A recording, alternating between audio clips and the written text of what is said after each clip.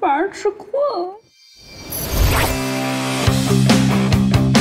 我叫王小安，一名影视公司力争上游的小编剧。重复的人设，没有新意的剧情，甜甜没有，虐虐没有。你写的这是什么？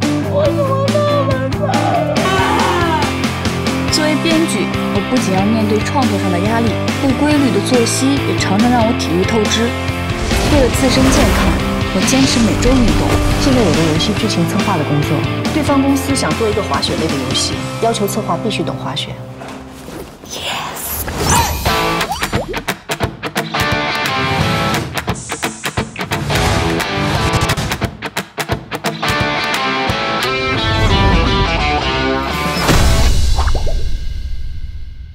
喂，姐，这个项目您能换个人接吗？一百五十万，不刚了？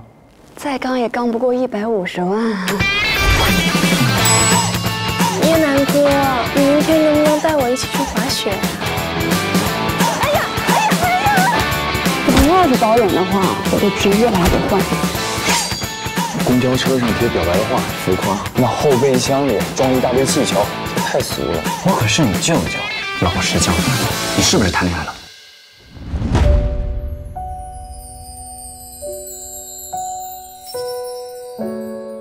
喜欢你。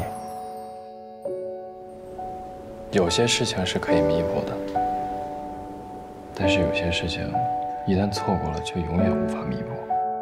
但是你，我错过了，未必有下一个五年可以重来。小安，我喜欢你，你愿意再次成为我的女朋友吗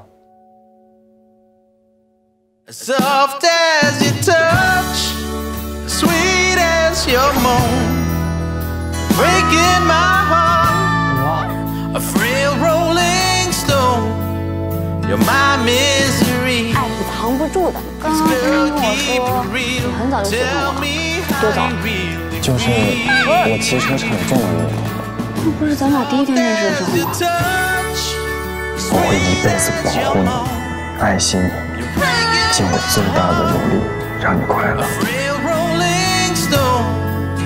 You're my mystery. Please, girl, keep it real. Tell me how you 我觉得这感情经不起你。不会的，有情人终成眷属。